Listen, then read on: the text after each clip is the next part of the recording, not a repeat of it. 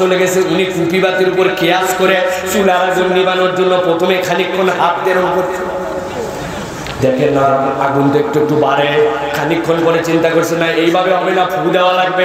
সাথে একটা ফুকনি ছিল, ফুকনি নিয়ে চুলার মুখের মধ্যে নিয়ে বুঝে থাকলে বলেন করে মুসলমান, দগদগে আগুন গনগনে কয়লা। ওইটাতে যদি মুখ দিয়ে ফু দেয়, আগুন কি নিবে নাকি বাড়বে? আমার আল্লাহ বলছেন ইউরিদুনা লিইউতফিউ নূরাল্লাহি বিআফওয়াহিহিম ওয়াল্লাহু মুতিম্মু নূরিহি ওয়ালাউ কারিহাল কাফিরুন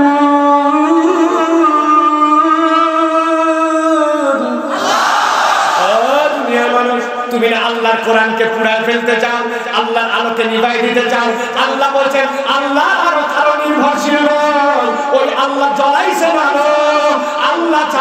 আল্লাহর আলো নিভানোর শক্তি কারণ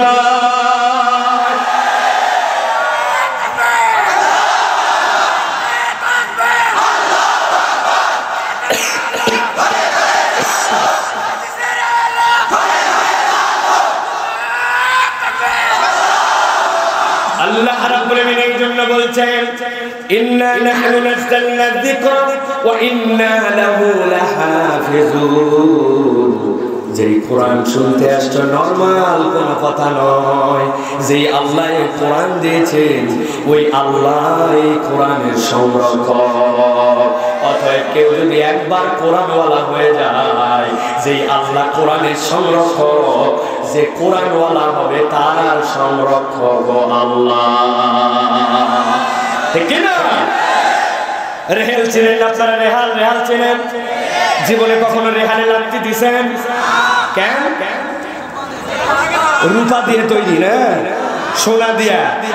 সবচেয়ে কম দামি কাঠ। কদম কদম কদম কাঠ অন্য কোথাও কাজে লাগানো যায় না, রেহাল বানায়। উপর দিয়ে মনে করছেন রং যেটা দিছে, ওটা সবচেয়ে কম দামি রং। একবার একটু পানি দিয়ে ছোঁয়া দিয়ে দেখেন কিছুই না। কিন্তু রেহালের মর্যাদা আপনার আমার কাছে কেবল কোরআন রাখার কারণে। একবার যদি পাও লেগে যায়, আমি চুমু দিয়ে দেই। তাহলে সাধারণ কদম কাঠের রেহাল যদি কোরআনের সাথে লাগার কারণে এত মর্যাদা পায়।